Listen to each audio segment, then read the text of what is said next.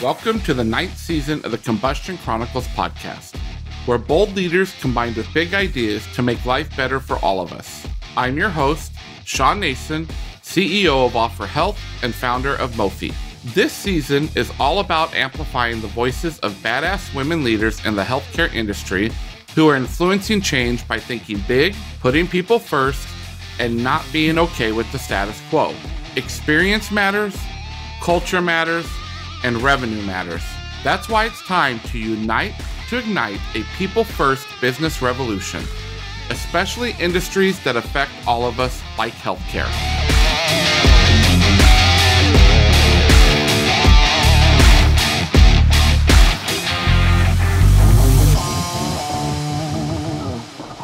Hillary Miller serves as the Vice President and Chief Learning Officer for Penn State Health. Hillary has more than 15 years of learning leadership experience, most recently serving as Director for Education and Quality Assurance at Parallon, a wholly owned subsidiary of HCA Healthcare. Her areas of expertise include public education, as well as for for profit and non for profit healthcare. She has also held leadership positions at Ohio Health, Medical University of South Carolina, and HCA Healthcare. She has special interest in gamification, agile learning development, and centers of excellence, and began her education career as a special education teacher. She held certifications in strategic communications, Lean Six Sigma, Crucial Conversations, and Epic Resolute Billing. Welcome to the Combustion Chronicles, Hillary. Thank you, Sean. What a career. Um, just reading your certifications, I'm like, how did she end up in learning and development? But I love it. Love it. So you are the kind of person that I needed growing up to make learning fun because I did not enjoy learning and make me feel like I was getting somewhere with my efforts. So, what drew you into the world of learning and development? Well, starting my career in public education, I always tell people there's strong arms in all of these things, right? And so I've, I've been in learning literally my whole career. It's just a different facet. So when you have have kids who are under 18 and you have performance standards and all of those things, it's really the same principles apply. The frames of reference might be different, right? Adult learning versus kids learning, but engagement and fun and play sometimes we forget that that's not just for kids. Adults need that interaction too and engagement. So I've really been in learning my whole life. I got into learning and development specifically within healthcare when I started uh, with the Medical University of South Carolina. And it really just kind of took off from there, moving into revenue cycle and the clinical aspect. And so I do not have a linear path. Uh, it's been a little bit of everything. I took on uh, roles and positions that uh, people may have found hard, but I knew I had the skill set to support. And I've really just cultivated this big uh, tool belt of skills over the past, you know, 15 to 20 years, which has allowed me to apply some interesting perspectives in the L&D space. But I have a I have a love for healthcare and I'm really glad to be serving in that space, especially now with with so much change. And so it's a real honor for me. Well, it's awesome. And, and you kind of have a special place in my heart with having special needs children to know that your background is there. I say there's a lot of special needs in healthcare, and I'll just kind of leave it at that. So, but you know, as an experienced evangelist, and I love the connections between experience, learning, and growth. So, where do you see the biggest intersections between experience and learning? Sure. So, experience from the standpoint of background skills or experience, as in how are we creating experiences? How are we creating experiences? Yeah. So I think you one you have to you have to know your audiences and where they're coming in from regardless of where you are. People are coming in with different skill sets, cultures, backgrounds. And rather than making that uniform for everybody. It's saying what's the ultimate goal that we have and whatever this is, but also not being afraid to try some new things. You know, when I think about experiential learning and growth, it is not a one size fits all. It's what are you trying to do? How are we helping people apply that information immediately back on the job, but also create this? I use the word toolkit, tool belt all the time, but there are so many adjacent skills to things. So if I'm really great at critical thinking, I can apply that in so many fields, but I may not have the technical functional expertise. So that's why I say you've got to know the audience and what you're trying to do, but also what medium, what delivery mechanism is gonna gonna result in in that best experience for people. And we have a lot of technology that's out there today. So I think you have to be pretty well versed into not going after those shiny objects, but also understanding how that's directly supporting a learning opportunity. And a lot of times we use learning synonymously with training, education, development. The training, development, and education are three very different things. Training is what I need right now because I don't know how to do it. Development is the things I want to be able to do. And then education might be those more formal practices like a certification or a degree. And so I think you have to have a pretty good understanding to create the right experience even within those realms. I've never heard it broke apart that way, but I love it. And I love I love what you're saying around this concept, and this is kind of me getting on soapbox and maybe being a little bit of a smartass, but that learning, training, development isn't a one size fits all. But yet, many of our education systems today are set up for one size fits all. I love that you were that, that you're thinking that way. So, so how do you overcome the challenges then of having to build programs that will connect with such a, a diverse population like you have in a mixed clinical setting such as Penn State Health? Yeah, it's such a great question. One is I don't know that you ever really arrive and that you solve all things. So I think the more that we can get back down to earth with that to say that there's always going to be a complexity and there's always going to be a new challenge, which I find exciting, by the way. I don't know if that makes it good or bad. But when I think about what are we trying to solve for, I go back to the fundamentals assessment. What is it that we're trying to do? What is the gap that we see? Why is there a gap? But also looking at this isn't just about, you know, what am I able to perform in my job? It's how are we behaviorally bringing ourselves into that? The human skills get set to the side so much. I will not call them soft skills because they're anything but. But the human skills play into this. I could be the best technical functional leader on the planet, but if I don't know how to talk to people, I don't listen, I don't critically think, it doesn't matter because the people aren't going to work with you. The people is the most important component because that's how the work gets done and that's how we service patients. And so when I see teams that are having difficulty with how to get along, we go back to what's going on? What are your expectations of each other? How are you talking to one another? And so the human side of that matters so much to me because usually that's where it lies because we can teach you this other thing. But if you don't know how to talk to each other, you don't trust each other, you're not having open dialogue, you're sitting in silence or you're getting really angry all the time, you got to solve for that first.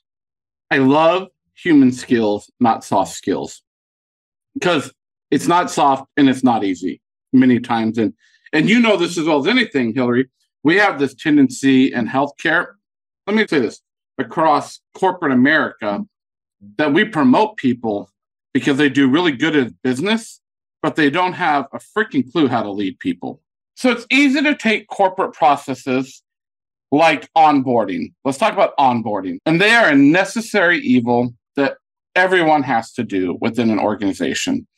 So, how do you approach required experiences like onboarding and how do you make them into something meaningful that sticks with people? Mm, that's such a great question. So I think it's one acknowledging that we have to have these things in place, especially when you're in a highly regulated environment that's constantly changing. Is saying, hey, you know, this is part of what we do, and we know we have to maneuver through that, but also taking off the label of, gosh, this might stink, of, gosh, this is why we have to do this. We have to protect you and our organization and our people. But this is where the fun part comes in. And this is really organizationally specific because the cultures are different, the people are different, what you might be doing is different, the landscape is different. And so I think when you can look at onboarding as an experience, so what are the things that they have to be able to perform? But what do we want them to know? Who do they need to engage with? How do we foster relationships right from day one, where we've made it easier for people to connect to one another and help people be more comfortable with the fact that folks are coming in and out of organizations all the time. So you might not have the same team members six months from now that you did today. And of course, we're all focused on retention, but the reality is there's a lot of power and choice of where you work today. And so the days of somebody being a 40 year tenure employee, which is awesome, which we would all love to have, is not really the reality. So when you think about onboarding, it's literally the single most important activity because that is the introduction to the organization. That is the introduction to we care so much about you that we've made these processes easier. And I don't know any organization that has that perfectly matched, but it's a it's an opportunity to fine tune that every single year to make it better. I do tell people I did work for the Walt Disney Company and they have a pretty freaking I mean we all want to be Disney, right? yeah, I think I think they do a really good job yeah. at onboarding. But people that used to work for the company 25 or 30 years ago yeah. said that it's not what it used to be. So, same concept, but I think they do a really good job at it. So, I'm going to ask you to go behind the curtain a little bit here. What's an exciting new project or pilot test that you have going on and cooking at Penn State Health?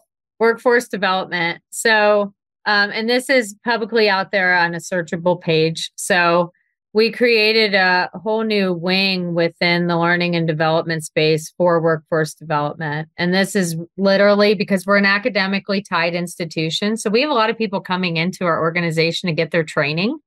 And so it's not only latching into that to see them as a future employee. On the flip side, we flipped money that we normally would spend with tuition reimbursement. Found out that most of our entry level folks aren't able to tap into that because they can't afford it. They can't afford to pay it up front to then get reimbursed. So we said, we're taking that all off. So we took that money, created what we're called a grow portfolio. It's not an acronym, it's literally just grow. And it is where we started piloting programs. We actually had our first launch in July with a local community college where we are paying in full for phlebotomy, which is your lab tech that draws blood, and medical assisting, which is such a critical role to, to in support of uh, our clinics inside our hospitals, but also to nursing and doctors. And so we have 41 students enrolled wow. in this pilot program internally and externally. And the only condition that we had is once you graduate, you got to work for us for a year. That's it. And so we're really excited about what this is going to look like because we're going to start unlocking multiple programs in key areas like surgical tech and pharmacy tech. And some of it was just thinking creatively about the money is there, but we're not using it in a way that's beneficial. But the bigger problem oftentimes is not the program itself. It is the fact that financially it is mm. such a barrier for folks. But number two, they're having to make decisions between do I pay for gas? Can I afford a meal tonight? So we wanted to lift off and we have a lot of improvement to make. That's why I love pilots because you get to make it better before you scale it. And so we know that we've we've good enough evidence that I think this is going to be a really good thing. That is so cool though. Like you have the dollars, you felt like you were investing into your people, but then you realized it's not being used and here's why. So let's remove that barrier and obstacle for them and switch it. And what what a powerful way to to look at that. Um, so I love it. Can't wait to hear more about that. When you're a kid, waiting in a line isn't much fun. But when you're always in the back of the line, well, that totally sucks. That's where Offor Health comes in. Our Smile MD business partners with dentists to move kids up from the back of the line by equipping dental practices with three person in office anesthesiology care teams who actually care about everyone they work with. Offor Health, improving the lives of the underserved and under resourced, one kid at a time. Learn more at offorhealth.com. That's O F F O R, Offor Health. Creating connections, improving lives, care you deserve.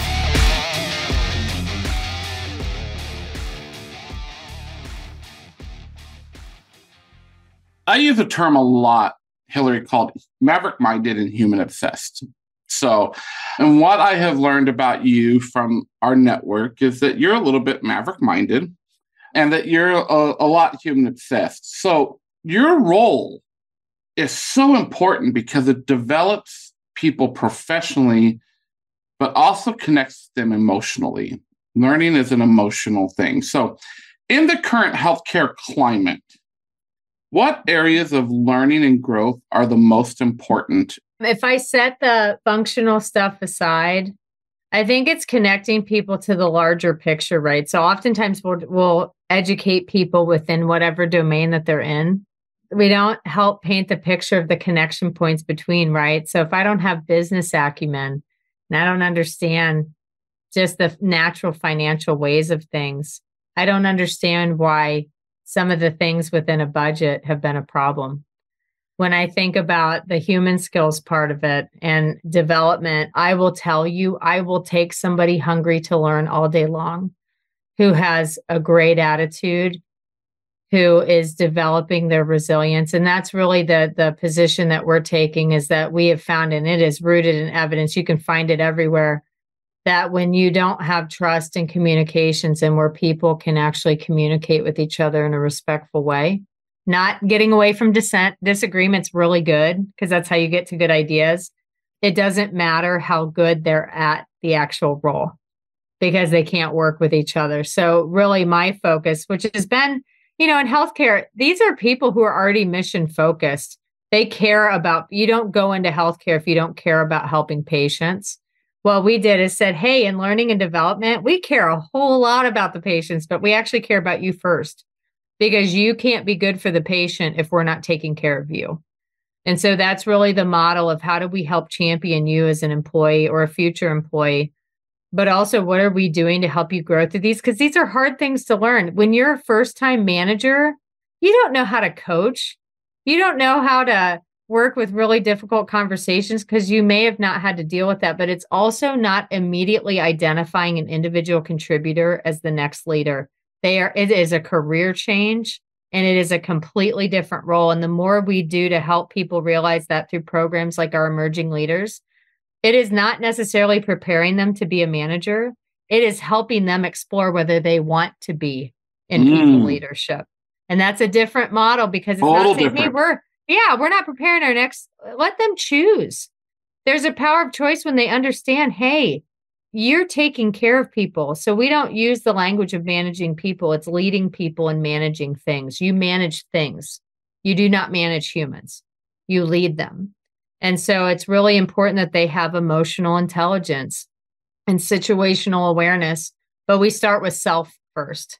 So I got to know me really well and what I'm not so great at and then let us help you you know build some of those skills up but two here's what it takes to sit in these seats and it's such an honor to sit in them but it's not for everybody so we want to make sure that people are really thinking about that before they move into it just for money or for something else because there's a lot of things that go into leading people it's funny to me because i'm uh, i'm currently sitting in a ceo role for an in-office anesthesiology company um, called Offor Health and my chief operating officer, her name is Beth Roberts, she says, I'll take a sponge any day over a rock.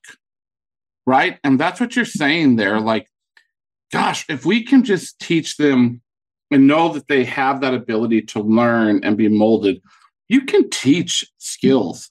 I love that you're approaching it that way. I've been giving a talk this year entitled I'm a CXO posing as a CEO because my whole career has been in experience. But I got some fundamental mentoring and went back and actually got a degree in finance and under, to understand business acumen to how business ties to all things experience. And I have friends who are in the industry today in healthcare that they're like, what do I do next? Do I just go be a chief experience officer someplace else? And I'll get calls and they'll say, How did you become a CEO? I said, I learned how to be a business person too. And it was kind of in me. So, but I'm like, I'll say this, it's a whole new world for me. I'm, uh, you know, months into this process and things that I used to even talk about metrics wise that we needed to measure for experience. I've realized, no, just tie it to a business metric and make the whole world a whole lot easier. I love where you're going with that. So, then how do you design learning opportunities that are focused on people instead of just creating experiences that check the box? Because as we know in healthcare, there's a whole lot of check the boxes that have to be done. Yeah. Well, I think it's one, talk to the people. So when we started really looking at when I came in, you know, there are a lot of existing programs and they had some really good stuff there. You know, it was just an opportunity to revamp it or reevaluate it. And so I said, gosh, have we ever asked the people in our organization where do they think they need to be at? And so we took that by tier from vice president to director to manager to individual contributor and started really asking some dedicated survey questions to say, have we ever asked you this? Number one. Number two, how are the programs for you today? Are you getting what you need? Do you know where to go? Because we have a really outstanding, you know, LMS with a ton of curated content, but self-driven learning is not for everybody. Right. And so we had to really understand what it is that they were looking for. And time after time, what people come back with is, I want to be able to handle a hard conversation. I don't want to be scared to ask a question of my direct leader or people who sit in a title higher than me. I want to feel smart. I want to look smart and I want to be smart. Not in those words, but that's me synthesizing that. But two is I want to be able to leverage the skills that I already have. So I'm going after critical thinking and inquiry and how do we talk to each other. It's not even about having a hard conversation because it's very hard to go into let's talk about a polarizing topic, which we need to do in DEI type activities and unconscious bias. But I if I have trouble just communicating with you in basic things, I'm not equipped to be able to talk with you about my own unconscious bias, let alone yours. And so I look at what are the fundamental building blocks that are actually going to allow somebody to be better. So I don't I don't lock people into a box and I love that you talked about being a CXO to a CEO. We so much label people of oh you've been a nurse. You can only fit in these. No, you know all the skills a nurse naturally has to have they are making clinical decisions on the fly with the knowledge and tools that they have. They follow regulatory process, are incredibly detail oriented, they're compassionate and they care about people. Do you know how those skills can be leveraged in just an unbelievable amount of spaces? But on the flip side, somebody who sits in tech could be beautiful in the clinical realm. And so it's not putting this this gating system of oh you can only be this. I've had that my entire career of oh you're in education. And i'm like yes i am. And i've got adjacent skills that can do a whole ton of things. And that's how i landed in all these different areas because i said gosh you know i think i can help you with that. And if we can help people see that the skills that they have actually lean into so many areas but we tend to put them in this box of it can only be this now i don't want to oversimplify that for areas that require higher level of license, like a nurse or a doctor, or things that, for safety purposes, among many other things, have to be done a certain way. But on the whole, in a lot of jobs, if we can start looking at, like, I would hire somebody who worked in hospitality all day long to be in patient experience. I don't care that you don't have health care. You know how to work with people and you know how to improve the customer experience. Same skills apply in healthcare. Yeah. That's so funny you said that because this year at Offor, uh, we hired our new senior director of business development and account management. And of course, you know, everyone says, so what's their sales experience? What's their ability to run customer success teams? I'm like, you know, I don't know. We actually hired this guy. He was, used to be uh, a chief experience officer. And they're like, what does experience? And I said, well, the last time I checked, business development and account management are all about building relationships. you build a great relationship, you can move people through the process of sales or whatever. And I said, guess who has great relationship building skills and don't come off as a salesperson? So people that work in experience. Mm-hmm. And um, it's been brilliant. So I love I love that. Like, let's not box people in. Um, yeah. What are the things that they can do, and how does that lean into this area? And it requires a different level of thinking. But oftentimes I'll challenge people, and I've been in interview processes where I picked a candidate nobody else did, and they're like, "Why did you do that?" And I said, "Look at what they've done, and look at how that transcends into this area." They've got 20 years of experience in this. It just wasn't in healthcare. I can teach you healthcare. Yeah. Amazing. Well, okay. It's come to a little bit of a fun time now, Hillary. This is now known as our two minute drill around a how might we statement. So, for our listeners who don't know about how might we statements, it's part of the methodology around human centered design, or some people call it design thinking. And it's how might we question actually helps frame up a problem statement, but it brings um, diversity of thought in. So, we're going to jam for two minutes. I'm going to let you start. I'm going to read you this how might we statement, and I just want you to start ideating all around it. Okay. Are you up for that, Hillary?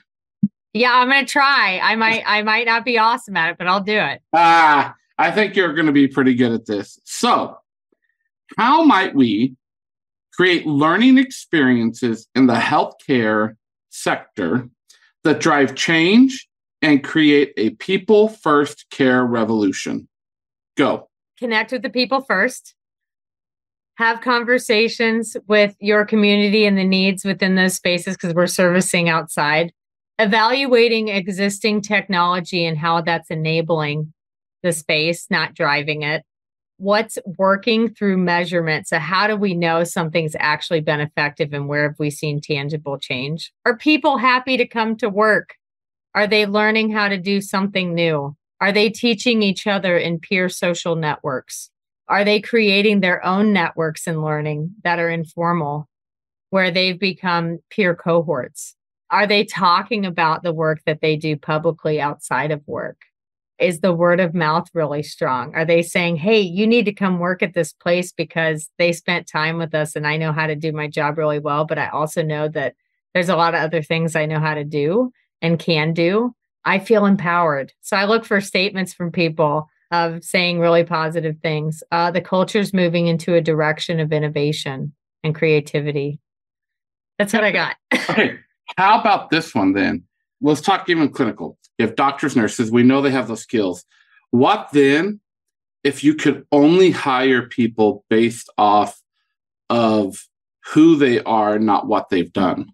Oh, well, to me, that's all about behavior, right? And so, uh, what kind of attitude do you bring into it? Are you curious? Do you think about how something impacts other people? Are you thinking about how your own behavior plays into that? Are you excited? Are you not afraid to say something that may be in a disagreement with other people? Are you the person that gets vocal when something's not working well? Okay, I've got one for you. Okay. And this is totally on the spot. So I know it. And you can say, I cannot believe you're going to ask me the question. Do you ever hire just from your gut? Oh, sure. Sure. And some of that is based off of experience. And I know my gut, but also you have to be careful with your gut. I'm going to throw that out there because we all have inherent biases that even we're not aware of. So I have to double check that to say, am I hiring because this is something that I personally like, or is this what we need? So I do gut checks. So I might trust my gut to begin with, but I do gut checks before I do anything. Um, awesome. Awesome. All right. So it has come to this time in the episode as we close up that we do these things called the combustion questions. Three randomly selected questions by my own personal AI robot that automatically just texts them to my phone.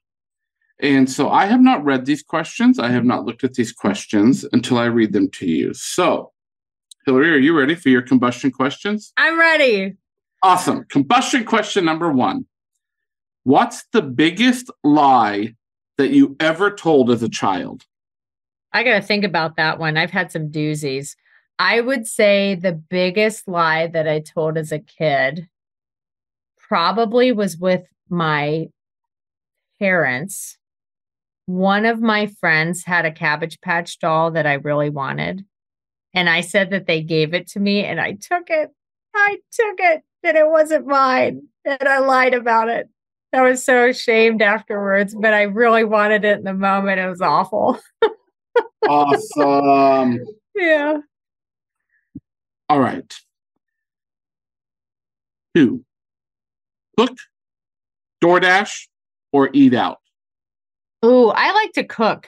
Can I answer that in two ways? Yes. So I like to cook during the week, but I actually love eating out with my friends on the weekend because it's like a it's a social thing for us, an experience thing for us. So we like to break bread and enjoy each other over a meal out. So cook during the week, eat out on the weekends. Love it.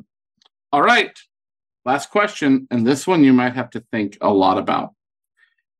What do you think about apples? Apples that I eat? Mm-hmm. Well, I think they're delicious, number one. I eat apples a lot. I'm grateful to have them readily available because it's an easy snack for me. I see them as a source of health because that's been ingrained in us from a kid. An apple a day keeps keeps the doctor, the dentist away.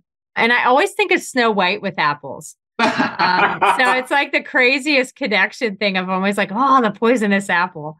So that's where my brain goes. Love them. Love the answers. Well, Hillary, again, thank you so much um, for dropping such wonderful gems on us and your approach to learning and development within healthcare. I love it. I love what you're doing. Look forward to continue following you and hopefully working together on something in the future. But until we meet in person, until we talk again, um, be safe and be well. And thank you. Thank you, Sean. Thanks so much for listening to this episode of the Combustion Chronicles.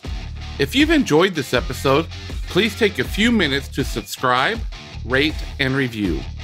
Remember that I'm always looking to meet more big thinking mavericks. So let's keep the conversation going by connecting on LinkedIn.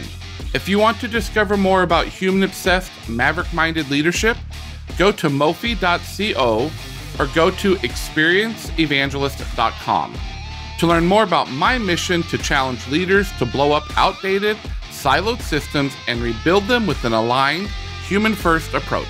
You can also learn more about Offor Health's commitment to reimagining outdated healthcare models at offorhealth.com. As always, stay safe, be well, and keep blowing shit up.